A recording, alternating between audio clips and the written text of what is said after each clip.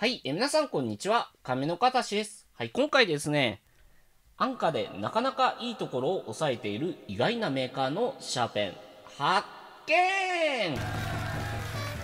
はい、今回ね、皆さんに紹介するシャーペンなんですけど、まあ、新商品になるとは思うんですけど、自分ね、これ見落としてました。というのもですね、まあ、今回ね、皆さんに紹介するアイテムなんですけど、ファンシー文具に、まあ、カテゴリーされるやつなんですよね。で、自分が見つけたお店も、まあ、ファンシー文具が、まあ、売られてるお店なんですけど、はい、ファンシー文具って皆さんご存知ですかね？はい、まあ、結構ね、若い女の子、あまあ、これがメインターゲットで、一昔前はですね、まあ、結構キラキラしたやつとか、もうものすごい可愛いようなカラーリングのやつ、まあ、これがいっぱいあったような感じなんですけど、最近ね、その流れがちょっと変わってきてるような感じがするんですよね。まあ、というのが何かと言いますと、結構大人の女性とかですね、まあ、今流行りのやつがラテカラーとかくすみカラーとか、まあ、そういう風な感じのカラーなんですけど、はい、だんだんだんだんですね、まあ、女性のその色の好みっていうのは、あの、大人になるにつれてですね、はい、結構ちょっとくすんだような、サイドが低いような色合いがだんだん好きになってくるんですけど、なんかですね、まあ、大人っぽいとか、なんかそういう風な感じですね。はい。まあ、その大人のなんかそういう風なコーディネートがずーっとこういう風にあの若年層に降りてきてるような感じで、今ですね、どのようになってるかというと、はい、もうそういう風に従来のね、あの昔からあったあのキラキラしたやつ、まあこれももちろん今もある感じなんですけど、もう半分がですね、もうそれぐらいな感じで、もう五分五分ぐらいに今なってきてます。で、これらがブワーってね、あのコーナーでも入り混じるような感じで売られてますし、はい、中にね、あのまあ入ってあの買い物してる層とかもちょっと昔と比べるとね、かなり変わってきてるんじゃないかなって思ったりもします。で、今回ね、皆さんに紹介するやつがその後者の方ですね。はい、結構あの大人っぽいような感じですし、これ老若男女問わずあの持ってても全然あの問題ないなっていう商品になったりもします。はい、ということでね、ぜひですね、今回の動画見てね、あ、いいなって思われた方はですね、これね、もうぜひですね、あの、お早めにあのお店の方で在庫を確認していただいて、もう購入の方をしていただけることをお勧めしたいなと思います。はい、ということでね、まあ今回もね、まあいろんな方がいらっしゃいますけど、ぜひ最最後まで聞いていただいて、いいねとチャンネル登録の方を忘れずにしていただけると嬉しいです。ということで今回も最後までお楽しみください。それでは、スタートします。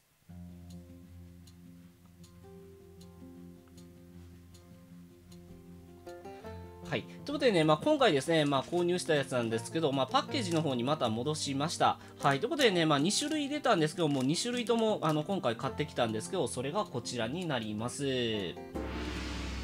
じゃーん。はい、こちらになるんですよね。はい、まあ、いかがですかね、これ。はい、パッと見こういう風に、まあ、透明で見てみるとですね、これかなりね、いい感じじゃないですかね。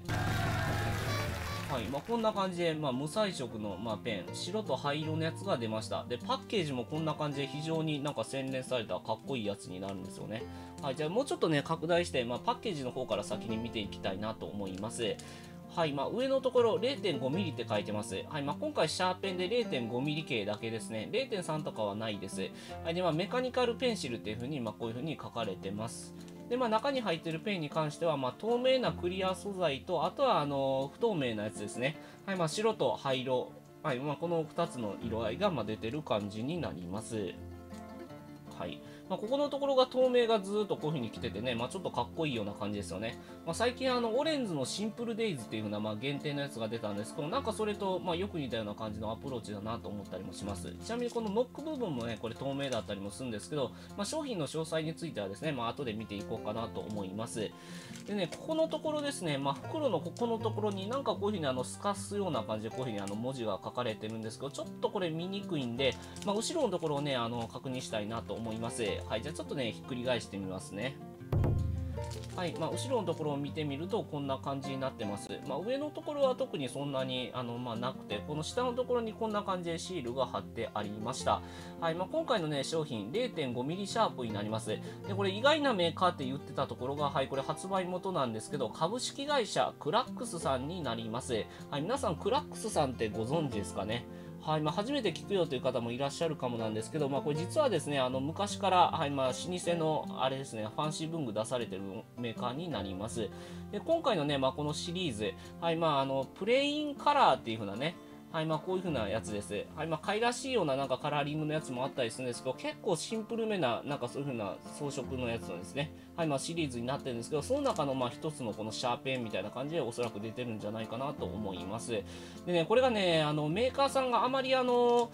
プレスリリースでね、詳しく情報を出されてないんですよね。なんでこの動画を収録している2021年8月中頃段階では、ちょっとね、ウェブの方では、あの、情報が見つけにくいかなという感じになってます。でもですね、このプレインカラーのこのシリーズが登場したのが、おそらく2021年の7月頃になります。でもその、まあ、第1弾のやつが多分、ウェブに今載ってると思うんですけど、うん、そこにはこのね、シャーペンが載ってなかったりもするんで、おそらく7月後半あたりから、まあ、8月の頭ぐらいにかけてかな、まあ、そのあたりでお店の方にま登場した新商品になるんじゃないかなと個人的に予想してます。でね、あの、他の面白いところなんですけど、これ、メイドインジャパンになってます。はい。で、まあ、あの、ホームページとかでね、まあ、あの、情報は見れるんですけど、そこまですごい詳しくは載ってない感じになります。まあ、ぜひ、あの、詳細が知りたい方は、まあ、ここのところですね、まあ、電話番号書いてあるんで、まあ、ここのところで問い合わせてみてもいいんじゃないかなと思います。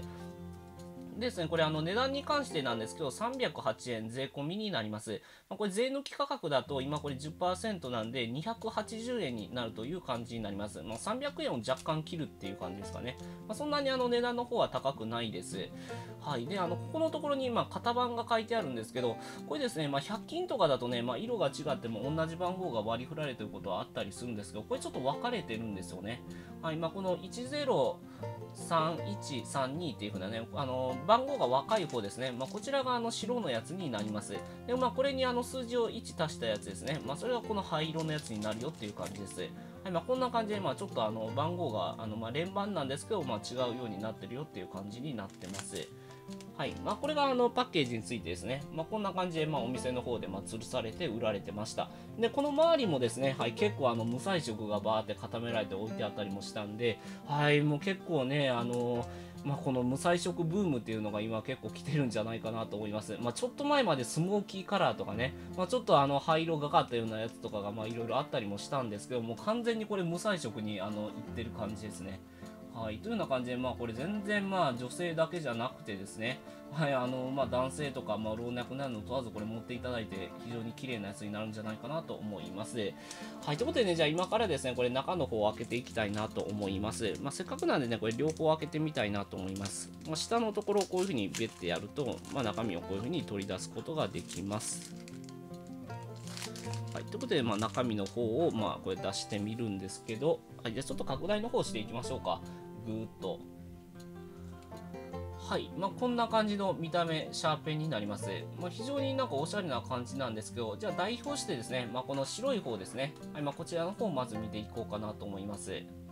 はい。まあ、ここのところにまあネジがあるのがすごい特徴ですよね。で、まあ、ここのところで、まあ、こういう風に開けれるのかなと思いきや、なんとね、ここのところ開けれなくなってて、こっからここまでずっとこういう風に、はい、まあ、辛い位置でずっとこういう風にあの連なってるような感じになるんですよね。はい、そうなんです。これ実はですね、まあ、グリップの部分と、あとはこの先っぽの部分ですね、まあ、ここのところが一体化になった商品になります。はい、これってね、まあ、実はですね、これと同じなんですよね。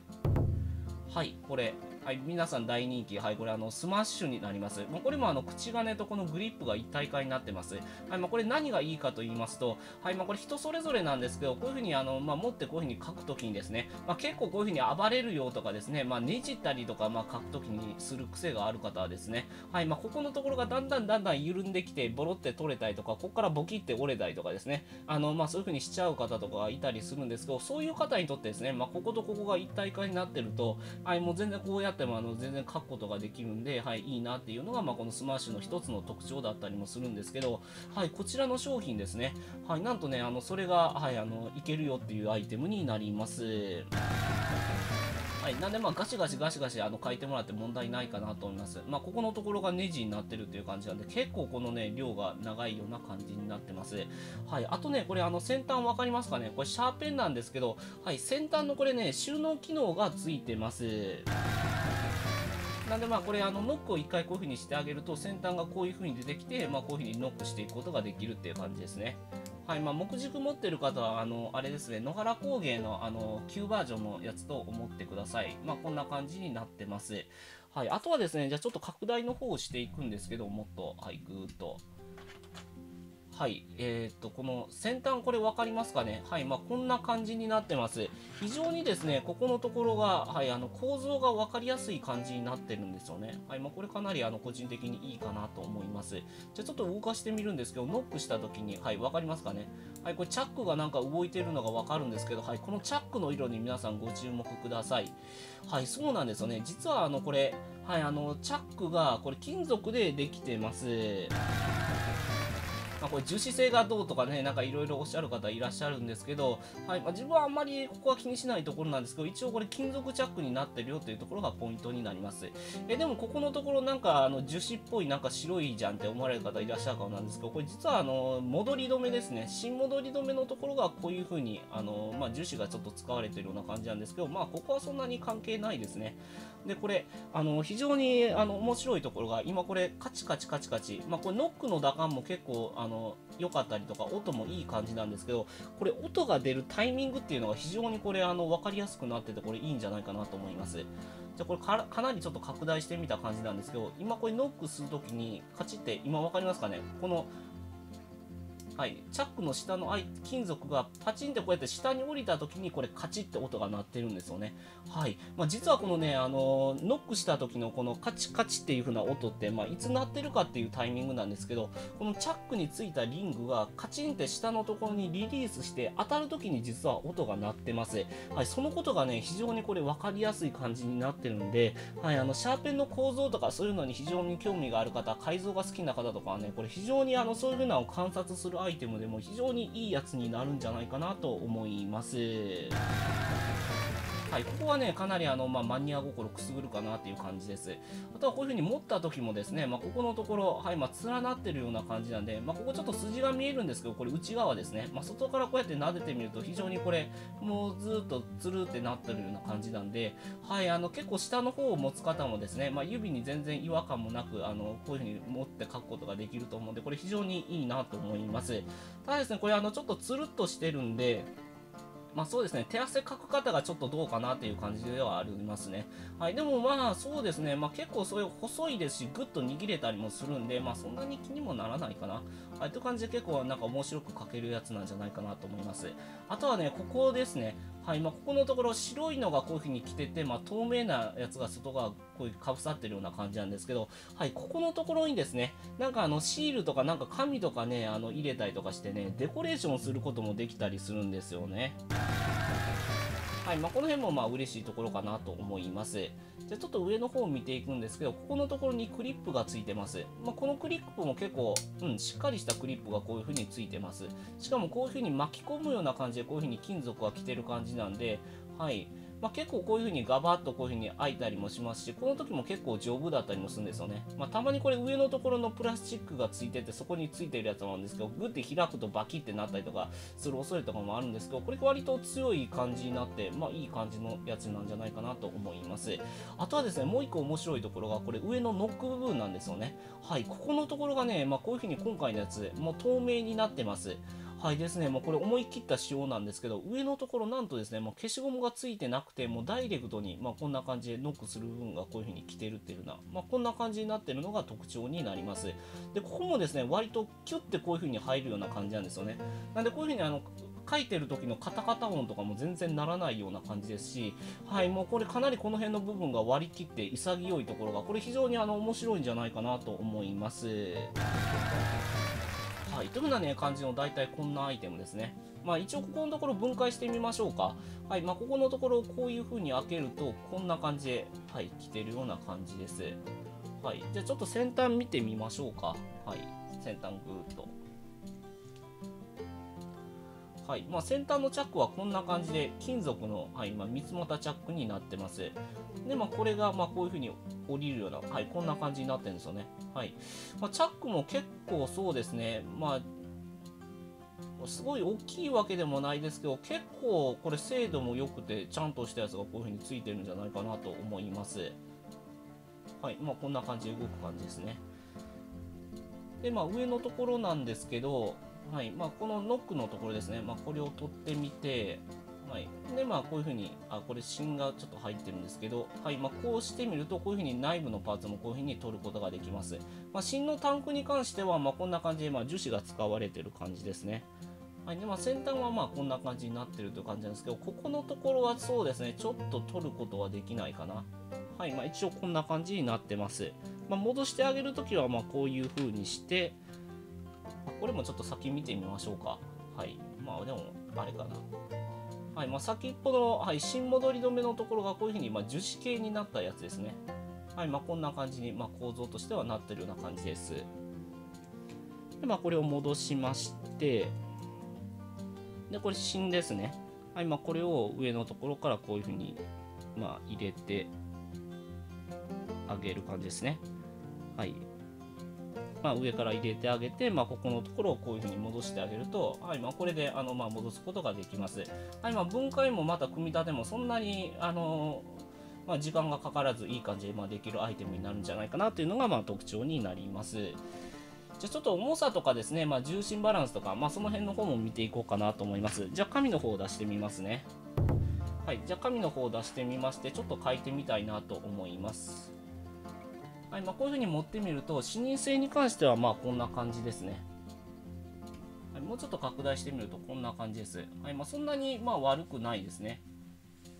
でまあこういうふうにまあうん普通に書くことができるかなと思います。まあ 0.5mm 径でまあこういうふうに書ける感じですね。はい、じゃあこれ重さなんですけど、はい、あのかなりあの今回のやつ軽いなと思います。で重心がどこにあるかというと重心はどの辺りかな？この辺りかな？ちょっとツルツル滑るんで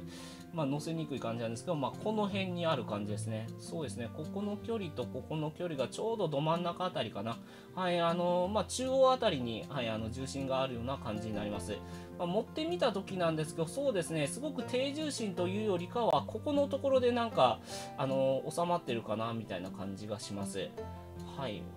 まあそうですね、持ち心地に関してはこれまあ賛否両論あるかもなんですけど、はい、まあ個人的にはそんなにまあ悪くないかなって思ったりもします。じゃあちょっと重さの方を測ってみましょうか。じゃあこれオンにしてみまして、はい、乗せてみるんですけど、重さが 8.8g ですね。はい、まあ、結構あの軽い部類になるんじゃないかなと思います。だいたいこれが同じぐらいかな。ちょっとこれ出したいなと思います。はい。これがまあ PG5 なんですけど、これちょっと載せてみましょうか。まあ大体これぐらいだったような気がするんですけど、はい。あまあ、PG5 よりもさらに軽い感じか。9.8でしたね。まあ、これよりも 1g 軽いような感じのやつとなってます。はい。というのは、まあ、こんなんが、まあ、この白いやつですね。で、まあ、もう1個の灰色に関してが、まあ、色合いは、まあ、こんな感じになってます。まあ、こういう風に並べてみると、こんな感じですね。まあ、そんなに1本の値段がね、まあ、高くなかったりもするんで、まあ、両方買ってみてもいいんじゃないかなと個人的には思ったりもします。はい。ということでね、じゃあ最後はですね、まあ、これのあのコーディネート例ですね、まあ、こんなペンとかと合うよとか、あとはちょっとライバル的なやつとかもね、まあ、出したいなと思います。でまずはですね、あのコーディネート例ですね。まあ、白とか灰色だったりするんで、まあ、白、灰色系のやつ、はいまあ、こういうのがね、いろいろあったりもします。まあ、例えばですね、これあの、まあ、最近出たやつなんですけど、ペンテルさんのオレンズのね、まあ、限定のやつなんですけど、あの、シンプルデイズっていうやつで、はい、出ました。はい、それがこちらになります。はい、まあ、こんな感じですね。まあ、同じような傾向ですね。まあ、白に灰色のやつで、しかも透明が来てるよっていう風な、はいまあ、まさにあのこれとも非常に合うような感じになります。うんまあ、実際にこういう風に合わせてみても綺麗ですね。はいまあ、あとはですね、あのまあ、マイルドライナーの、ま、灰色のやつとか、あとはまあブレンの灰色系のやつですね。はいまあ、こんな感じかな。あとはまあ白とかもそうかな。ちょっと待ってくださいね。えー、っと、まあ、この辺が合うかなと思います。はい、まあ、こんな感じですね。いまあ、これ、あのこっち側が、はい、グレンですね。で、まあ、ここが、まあ、マイルドライナーの、まあ、この灰色のやつなんですけど、まあ、こういうのとも非常にこういう風な感じで、まあ、合わせやすいかなと思います。あとは、まあ、定規をこういう風な感じで、アルミウッド定規の緑さんのやつとかを、まあ、合わせてあげたりとか、まあ、透明なやつも合いますよね。はい、まあ、これも同じく緑さんのやつなんですけど、まあ、こういうやつとか、はい。まあ、あとは、まあ、銀とかも合いそうかな。はい。まあ、こういうふうな銀系のやつですね。まあ、こういうふうなやつとかも、まあ、こういうふうに合わせていただくことができると思います。で、まあ、筆箱はですね、まあ、そうですね、これがいいかな。はい。はい、これ、あの、まあ、レイミン富士さんの、まあ、ケプトのこの白いやつです。はい、まあ、この中にちょっと入れてみましょうか。はい。まあ、ガバッとこういう風に入れてみるんですけど、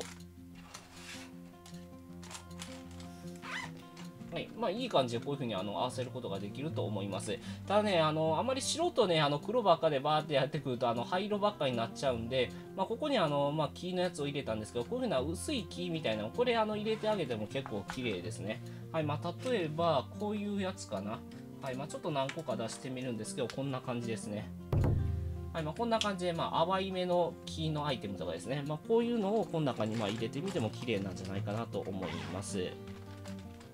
はい、いかがですかね。まあ、あとはですね、まあ、この中に入れるかとか、周りに置くかどうか次第なんですけど、中の植物のですね、まあ、ちょっとあの、まあ、鮮やかさがちょっと落ちたような、なんかツタとかですね、まあ、そういうのとかをバーってこういう風に合わせてあげても、まあ、非常に綺麗になるかなと思います。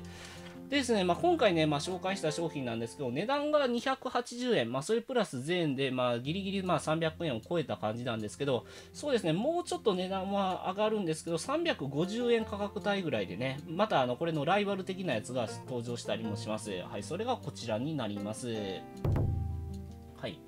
まあ、それがあのこれらのペンなんですよね。はいまあ、つい最近出たあのペンテルさんのこの PG メタルですね。まあ、これもこんな感じであの、まあ、素敵な色のやつが出てます。はいまあ、これがですね、値段がですね、まあ、350円ぐらいですね。まあ、ここのところちょっと小さいんですけど、はいまあ、これぐらいの値段になります。あとはこのトンボ鉛筆さんのね、はい、あの、このモノグラフですね。はいまあ、これが結構、はいまあ、上のところ回転繰り出しのやつがついてたりとか、まあ、こうやって振って出せる機能とかですね、まあ、いろいろあのいいところをこういうふうに押さえてるやつとかもあったりもします。まあ、こういうふうなライバルとかちょっとまあね、あのもう若干上がるような感じでまあ登場したりもするんで、まあ、この辺と比べてどうかっていうところだったりもするんですけど、はいま、これらと比べると若干ちょっとまあ、チープさっていうのはあるかもしれないですけど、かなりいいところをですね、まあ、今回の商品は抑えてるんじゃないかなと思いますし、ちょっとレアリティ度ですね。はいまあ、他の方結構これ知ってるかもしれないですけど、今回の商品は結構これご存知でない方ね、あのまあ、多いんじゃないかなと思います。